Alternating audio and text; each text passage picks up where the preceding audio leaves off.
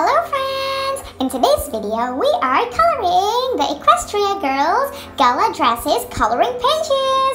I hope you guys will love the video. But before we start, don't forget to click the subscribe button down below. Let's get started!